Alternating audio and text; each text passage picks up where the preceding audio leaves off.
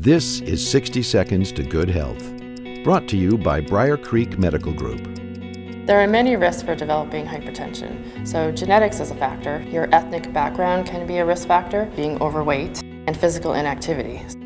If I have a patient come in who has high blood pressure, then we'll normally recheck it right there in the office. If your doctor tells you that you have hypertension, then the first thing they're probably going to do is some blood work, and then they're going to talk to you about um, managing your risk factors. Even losing 5% of your body can significantly lower your blood pressure.